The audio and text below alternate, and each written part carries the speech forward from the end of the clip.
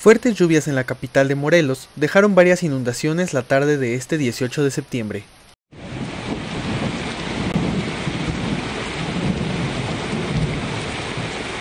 Ese coche está ahí en la curva y ya se está moviendo. ¡Ah! Se está yendo para atrás. ¡No manches!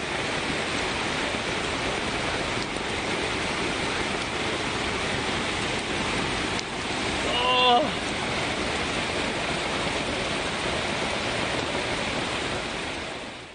El servicio meteorológico alertó que la depresión tropical 22 y un canal de baja presión ocasionarán lluvias fuertes en estados del noreste, centro, oriente y sureste del país durante viernes, sábado y domingo.